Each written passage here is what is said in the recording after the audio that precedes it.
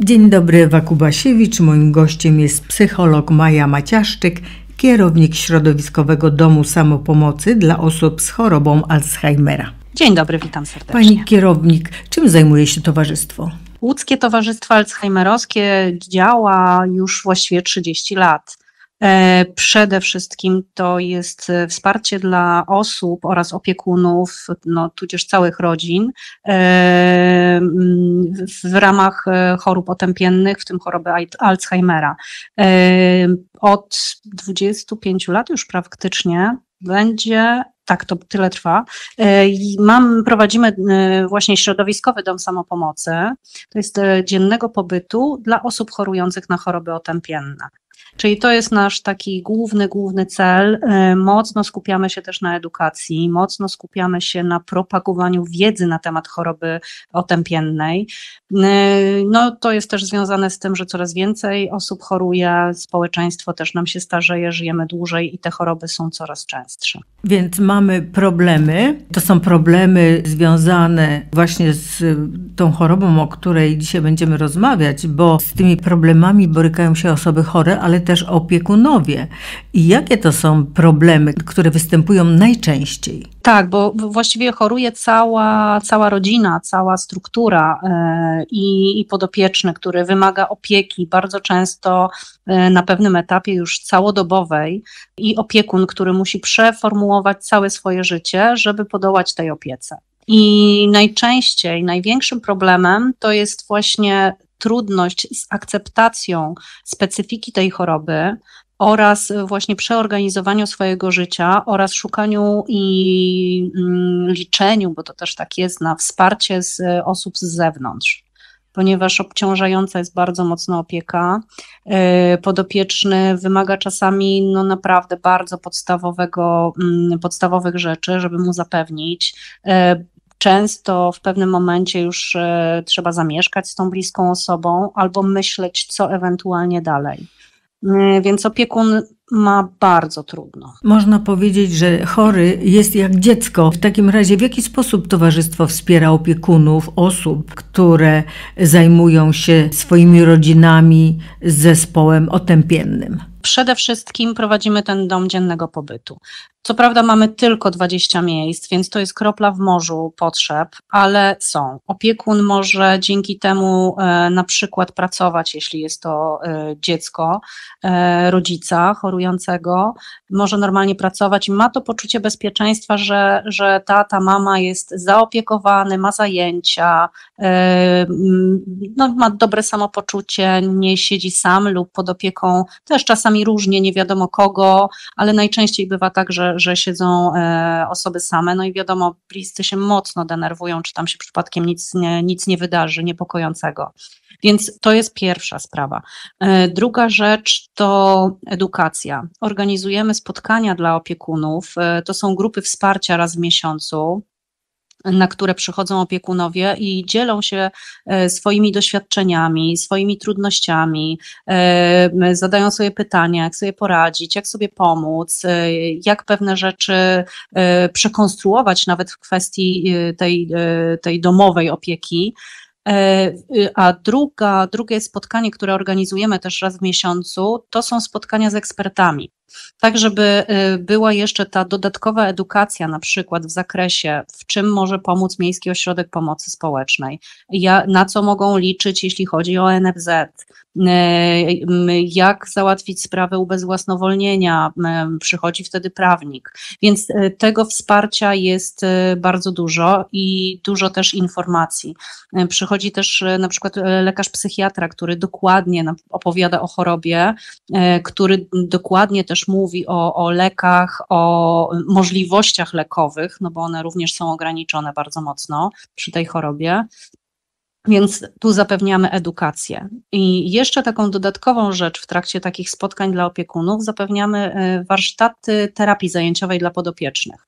Bo te spotkania są otwarte. To są spotkania dla osób, które są zupełnie z zewnątrz i które na przykład y, no, nie mają takiej możliwości uczestnictwa tutaj u nas y, w zajęciach tych regularnych środowiskowego domu i mogą skorzystać przez te półtorej godziny podopieczny ma, ma zajęcie, więc opiekun może wyjść razem z nim, spotkać się tutaj, porozmawiać i podopieczny ma zajęcia. To jest też dobre, że ten, kto się opiekuje taką osobą, mhm. ma świadomość, prawda? Bo nie zawsze taką świadomość mamy. Zazwyczaj to się czasami dziwimy, co się nagle stało z taką osobą, która w pełni była sprawna, a w tej chwili to rzeczywiście jak, jak dziecko niemalże. Mhm, tak, dokładnie. Bardzo trudno czasami jest w ogóle zaobserwować taką różnicę i zazwyczaj e, e, bliscy, którzy nie mieszkają z, z osobą, e, która zaczyna chorować, orientują się, że naprawdę coś jest nie tak, kiedy choroba już jest na za, dość zaawansowanym etapie. Dlatego, że człowiek ma bardzo dużo zasobów i jest w stanie bardzo ładnie się maskować, tak? Czyli w momencie, kiedy ma spotkanie z, z rodziną, z jakimś towarzystwem, z jakimiś ludźmi, to staje na najwyższym e, poziomie, że tak powiem, aktywności swojej i sprawia wrażenie, że wszystko jest w porządku. Tutaj dopytam, bo to jest interesujące, czy taka osoba jest świadoma swojej choroby? Bardzo często nie. Bo, Bardzo jeżeli, często bo jeżeli pani mówi, że staje na wysokości zadania, czyli to takie wrażenie przynajmniej odniosłam, że osoba e, ma świadomość swojej choroby i jakby chciała po prostu ją ukryć to w dużej mierze też tak jest. No jest to bardzo, bardzo trudna choroba i specyficzna i każdemu, zresztą myślę, że to dotyczy każdego człowieka e, po trochu. Dopóki nie mamy takiej świadomości, że to jest choroba niestety jak każda inna, że to jest e, tylko tyle, że niszczy nam mózg e, i potrzebujemy opieki, gdyby ta świadomość była dużo wyższa, jeśli chodzi o nasze społeczeństwo, to wydaje mi się, że łatwiej byłoby się przyznać. Komunikacja tego, była byłaby normalna, prawda? Tak, a tutaj jest trochę tak, że my swoje deficyty staramy się ukryć i rzeczywiście, jeśli osoba sobie nie radzi, czy w banku, czy jest zagubiona, to stara się to ukryć. Dlatego często na przykład diagnozowana jest przez lekarzy yy, depresja w pewnym momencie. Tylko, że pod tą depresją może się kryć właśnie y, jakiś problem y, już y, tutaj, czy początek jakiejś choroby otępiennej, ponieważ osoba się wycofuje z życia społecznego. Wycofuje się dlatego, że już sobie w tym życiu społecznym nie radzi za bardzo. Tak czy lekarze taki... potrafią postawić właściwą diagnozę, czy czasami mogą się pomylić? Bardzo często niestety można się pomylić. To jest bardzo trudne. Ja, ja opiekunom no, bardzo często powtarzam taką jedną rzecz, że jeżeli ktoś ma, ktoś jest niepełnosprawny, nie ma ręki, nie ma nogi, tak, czy widać tą niepełnosprawność, to my wiemy, że trzeba mu pomóc, podać e, szklankę albo, albo w jakiś inny sposób go wesprzeć. Ale jeśli nie widzimy, że są ubytki w różnych częściach mózgu, które odpowiadają za nasze zachowanie, odpowiadają za pamięć, no to nie jesteśmy w stanie tej osoby pomóc. E, właśnie, i teraz chciałam zapytać, to jak się pomaga osobie, która jest z chorobą Alzheimera? Ta choroba jest postępująca, ale no to tak. na pewnych etapach, jak to wygląda? Przede wszystkim my tutaj prowadząc dom dziennego pobytu, ten nasz środowiskowy, y, mamy osoby z umiarkowanym, y, z umiarkowaną chorobą lub lekką y, otępienną i są to osoby, które jeszcze naprawdę w wielu kwestiach bardzo wysoko funkcjonują. Ważne jest to, żeby podtrzymywać ich aktywność, żeby one były aktywne. Zostawienie kogokolwiek, myślę, nawet zwyczajnie jesteśmy zdrowi, ale siedzimy całymi dniami przed telewizorem, no to niestety nas to rozleniwia i ogranicza i nasze deficyty są coraz większe, jeśli chodzi o, o, o poznawcze rzeczy. Dlatego y, istotne jest, żeby te spotkania, y, żeby osoby, które zaczynają mieć właśnie y, problemy albo mają już postawioną diagnozę, żeby jak najwięcej czasu spędzały jednak z, w towarzystwie czyli z innymi ludźmi, czyli żeby były w tym społeczeństwie, no bo tak jak powiedziałam wcześniej, jednak wychodząc na zewnątrz, spotykając się z ludźmi, mając coś do zrobienia, my stajemy na wysokości zadania, żeby zrobić to dobrze. To jest nawet nieświadome, bo ja myślę, że to jest taki odruch nasz e, po prostu społeczny. Fizjologiczny nawet. Tak, no jakoś. W każdym bądź razie jest to y, nawet mocno, mocno widoczne, bo rodziny często mówią, a moja mama w domu to siedzi, nic nie robi, nie mogę jej do niczego zachęcić, nie mogę jej zmusić do niczego, nie mogę jej zmotywować. A tutaj u was pisze, maluje, rysuje, y, śpiewa, robi wszystko i robi bardzo dużo. I to o to chodzi, dlatego że ten mózg jest jeszcze mocno, mocno aktywizowany. Czyli potrzebne jest towarzystwo Tak. drugiej osoby, kilku osób i ta choroba Tak. no, może postępować nie tak szybko, bo przecież wiemy, że ta choroba Alzheimera to jest chorobą postępującą, ona się nie Tak. zatrzymuje, znaczy może trochę wyhamować, prawda? Możemy do tego doprowadzić.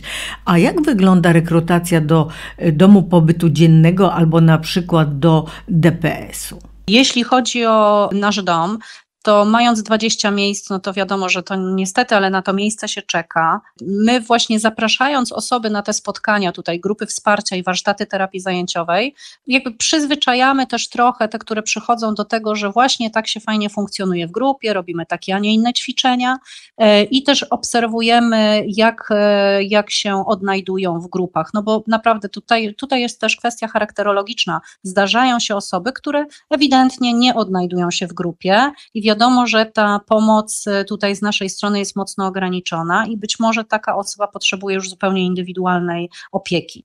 Ale to się zdarza bardzo rzadko, ale jednak się zdarza. Jest kwalifikacja tutaj do nas do ośrodka prowadzona przez panią doktor psychiatrę. Podstawą jest oczywiście to, że osoba musi być zdiagnozowana już e, e, jako osoba, która choruje na choroby otępienne i czeka, jest czas oczekiwania na miejsce i ja nie odpowiem jak to długo trwa, bo to jest przedział między trzy miesiące, chociaż teraz to już jest bardzo rzadkie, e, no i czeka się do oporu, że tak powiem.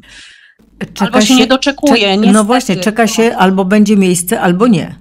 Albo będzie, albo nie, albo choroba na tyle postąpi, że osoba już nie będzie się e, odnajdywała tutaj, e, tutaj w grupie, ponieważ na ostatnim etapie choroby, na tym e, mocno zaawansowanym, zazwyczaj bodźce, które my tutaj fundujemy, czyli właśnie inne osoby, zajęcia, spotkania, jest głośno, jest muzyka, już zaczynają być mocnymi przeszkadzajkami e, dla tej osoby któ- i mocno jest poddenerwowana i to jest też taki sygnał, że ta osoba potrzebuje opieki już jeden na jeden. Czyli, Czyli tu spokoju, postępuje już tak. wyciszenie. Tak, po prostu już nic tak. więcej nie można zrobić, tylko dać święty spokój tej osobie. Dać na tyle spokoju, ale takiego poczucia bezpieczeństwa, czyli jedno pomieszczenie, czy tam jedno miejsce, żeby nie przenosić jej co, co kawałek, żeby był ktoś, kto za, potrzyma za rękę, kto ewentualnie porozmawia, e, kto y, y, przejdzie się y, na, s- na jakiś krótki spacer, ale też bez większych y, zmian. Po prostu im mniej bodźców, im mniej zmian, im mniej doświadczeń,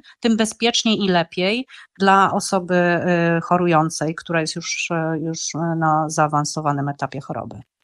No to wygląda to tak, że taka osoba rzeczywiście potrzebuje opieki, ale podczas kiedy my pracujemy, czasami ta możliwość jest ograniczona. I teraz co zrobić? Czy DPS-y na przykład zapewniają taką pomoc, albo jeżeli nie, to gdzie możemy z takiej pomocy skorzystać? No bo zostawienie osoby samej w domu, no to ogromne niebezpieczeństwo. Tak, jak najbardziej. Najgorsze w tym wszystkim jest to, że nasz system niestety nie przewiduje pewnych rzeczy. Nasz system, e, nie mamy planu alzheimerowskiego jak większość e, krajów europejskich e, i w ogóle krajów na świecie, e, więc e, tutaj jest, tutaj jest problem i tak naprawdę rodziny też trochę po omacku szukają pewnych rzeczy. Do DPS-u składa się podanie, na miejsce w DPS-ie się czeka. Oczywiście DPS-y już coraz częściej są przystosowane do opieki nad osobami chorującymi na, na choroby otępienne. E, Ale nadal to jest dosyć długi proces i e, czasem dużo wcześniej e, trzeba sobie z tym radzić. Inna forma, opiekunowie szukają prywatnej opieki albo indywidualnej w domu, albo prywatnych domów opieki, których też jest trochę i też część z nich się specjalizuje w, w opiece nad osobami chorującymi na choroby otępienne. Czyli państwo nie zakłada u nas tego typu choroby. No teoretycznie zakłada, ale w praktyce idzie to bardzo opornie. Plan alzheimerowski czyli powstał. wiemy, że mamy taką chorobę, jest numerek y, Tak. statystyczny i na tym się kończy. Tak, tak, tak, tak, dokładnie. E, Jedna, jedna jeszcze taka rzecz, no bardzo, bardzo długo i opornie idzie ten e, plan alzheimerowski. No jest szansa, że może w końcu się uda, bo organizacje pozarządowe z całej Polski próbują naprawdę wymusić na e, Narodowym Funduszu Zdrowia, żeby już to jednak poszło, już to ruszyło, ale niestety no idzie opornie, tak? Dobrze, to teraz chciałam Panią zapytać o stronę prawną, bo często zdarza się, że taką osobę trzeba ubezwłasnowolnić. W mhm. jakich sytuacjach jest to konieczne? No i jak to w ogóle wygląda? Ja powiem tak ogólnie, dobrze? To, co mówię moim, e, moim opiekunom, e, przychodzi taki moment, kiedy niestety w różnych urzędach e, osoba chorująca musi się podpisać, musi wyrazić zgodę.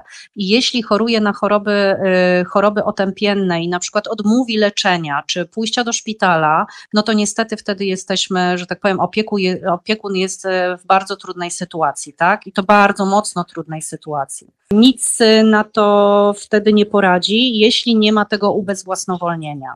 Jest to ubezwłasnowolnienie o tyle potrzebne, żeby móc y, osobą się dobrze zaopiekować i oczywiście jest podstawą do umieszczenia w DPS-ie.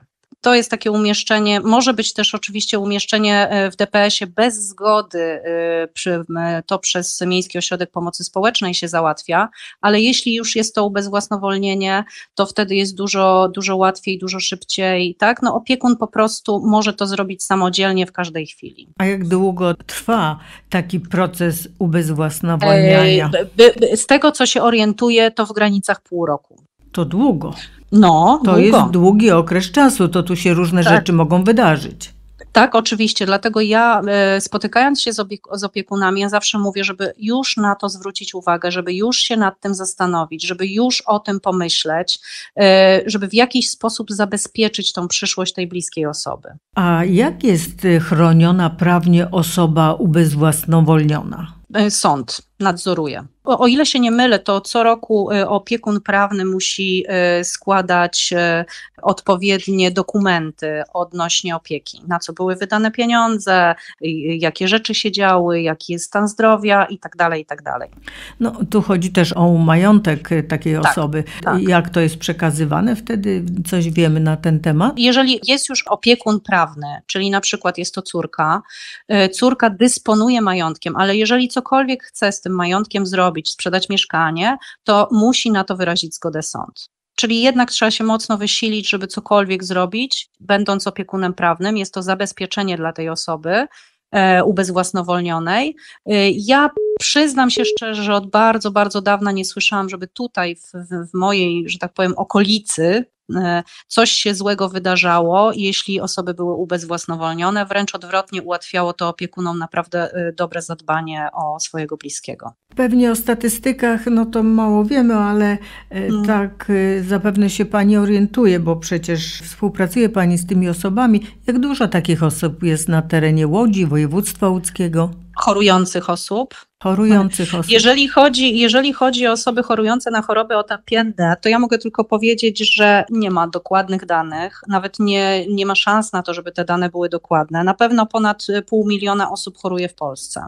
ale są to niedoszacowane dane, bo mnóstwo osób jest niezdiagnozowanych, źle zdiagnozowanych, nieleczonych, więc nie jesteśmy w stanie tego podać. Dopiero jeśli będzie wdrożony plan alzheimerowski, czyli na przykład wcześniejsza diagnostyka po 65 roku życia, nawet zwykłe badania przesiewowe testowe, to już daje jakąś informację o tych statystykach. Na razie to jest, y, to jest, to są tylko czyste przypuszczenia. Jeśli chodzi o Łódź, ja szukałam tych danych. Kiedyś tam jakieś stare bardzo, ale to też przypuszczeniowe, nawet już y, nie zaglądałam do tego. Nie ma takiej statystyki, nie ma takich informacji, więc na to pytanie nie odpowiem. Y, można, nie wiem nawet kogo miałabym zapytać, szczerze mówiąc, bo, bo, bo jest to dosyć trudne do, do dowiedzenia się, może tak, e, ale na pewno jest to bardzo duża liczba i tym bardziej, że Łódź jest miastem E, starszych ludzi. A jak to wygląda w innych krajach? W innych krajach, tak jak powiedziałam, jest e, plan alzheimerowski, który przewiduje na przykład, że właśnie badania przesiewowe po 65 roku życia. Jeśli, powstaje, jeśli jest diagnoza, to jest dalej procedura. Wszystko wygląda, czy jest tak przygotowane jak w przypadku na przykład raka, tak? Czyli jest już jakaś procedura wdrożona. Kobiety e, mają możliwość bezpłatnych badań w takim i w takim okresie życia tak? Czyli jest ta możliwość, żeby wcześniej diagnozować. Tak, zająć się taką osobą. Tak, dokładnie. I U nas tego nie ma. I jej pomóc. No właśnie, dlaczego tego nie ma? Przecież to nie jest nowa choroba. To, to, to do ministerstwa. Plan alzheimerowski, e, z tego co wiem, już został napisany przez organizacje pozarządowe w 2010 roku i jest przerabiany, e, badania, no różnego rodzaju kombinacje i nadal, nadal efektu nie ma. Podobno ma się coś, e, coś teraz ruszyć, ale nadal jest cisza. Ja myślę, że to jest kwestia tego, że za tym idą ogromne pieniądze i przeformułowanie wielu rzeczy, więc no, rząd będzie potrzebował na to czasu. Tylko coraz więcej ludzi choruje i ten czas się skraca, ale wydaje mi się, że mm, społeczeństwo mm, niestety wymusi to i sytuacja wymusi na rządzie, że jednak ten plan i ta opieka będzie musiała powstać. Bardzo Pani dziękuję. Gościem Radia Parada była psycholog Maja Maciaszczyk, kierownik Środowiskowego Domu Samopomocy dla osób z chorobą Alzheimera. Bardzo dziękuję również. Pozdrawiam serdecznie. Dziękuję Ewa Kubasiewicz.